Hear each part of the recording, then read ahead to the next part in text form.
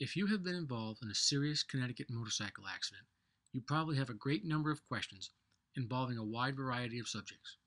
Who will pay my medical bills? When will I get paid for my property damage?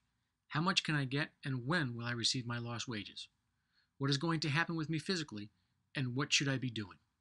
What you do immediately after the accident, and especially what you do within the hours and days after your accident, can greatly affect the amount of money damages you can be able to recover from the at fault driver. If you've been injured, here are some of the things you should do immediately after a motorcycle accident.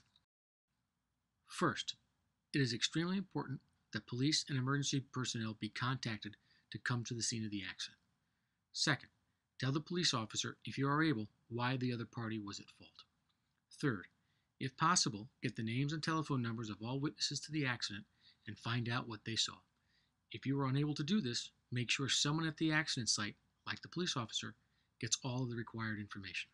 Fourth, tell the emergency medical personnel all of the problems you are experiencing and have them transport you by ambulance to the hospital to be examined and treated. Do not speak to an insurance adjuster. The insurance adjuster's job is to pay the least amount of money possible on each claim they are handling. Every time you speak with the adjuster, you will give that person the opportunity to get information from you that will accomplish their objective that is, either deny your claim or reduce the amount of money they will have to pay you. If you don't have any money, don't be concerned. We handle these types of cases on a contingency fee basis. We only get paid if we recover money for you. We will even pay the cost to develop your case, and those costs are only repaid to us if we collect money damages for you. You will not have to come up with any money out of your pocket to hire us, as we only get paid at the end of the case and only if we collect money for you. Contact an experienced motorcycle accident lawyer as soon as possible so you can find out what to do and, more importantly, what not to do.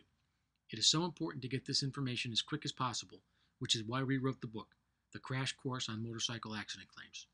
Get this free, downloadable book right now at www.hcwlaw.com.